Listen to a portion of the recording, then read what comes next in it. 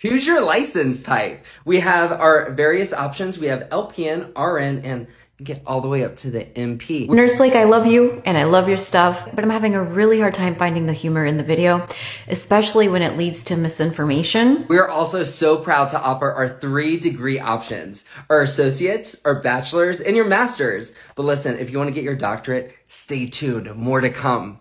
I realize that your videos are satire, they're not meant to be taken seriously, but a lot of your videos are based on actual facts and people are taking this video as factual. I want to set the record straight. With this fake degree diploma scandal, three schools in South Florida in the Miami area, they were issuing associate degrees only. It's awful period, but it was associate degrees. It was not bachelor's and it certainly was not nurse practitioner degrees. I feel like I need to clarify that because as a nurse practitioner, we already face enough scrutiny and this is how misinformation spreads. Say, oh, Nurse Blake said this. And then it's like, can you believe that fake NP degrees were issued? And then all of a sudden every NP has a fake degree. And then the last point that I wanted to make is I hate when I see those advertisements that say, earn your NP all online.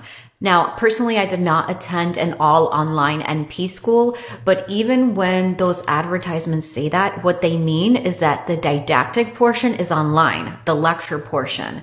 Those NPs still have to do clinicals in person with an MD or a nurse practitioner. There are some schools that are better than others, so make sure you're not going to a diploma mill.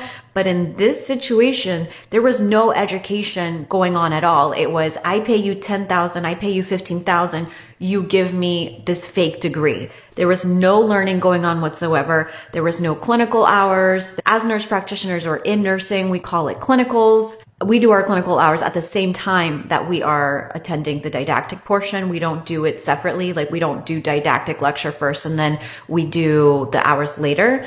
And um, so I just wanted to throw that out there. If you are looking to become a nurse practitioner, I highly encourage you that you have RN experience first instead of just going straight into NP school because I love being an NP and I don't want to see this profession tarnished. Again, for the most part, 99.99% of what Nurse Blake posts I find hilarious. And normally I would scroll past something when I don't agree with something, but I just felt like I needed to speak out on this issue. No, it wasn't bachelor's and it wasn't NP degrees that were being issued with these three schools that were a scam. The three schools that were involved were Palm Beach School of Nursing, Sacred Heart Inter International Institute, and Siena College. Fully prepared to get backlash for this, but I wish you all health, blessings, and prosperity.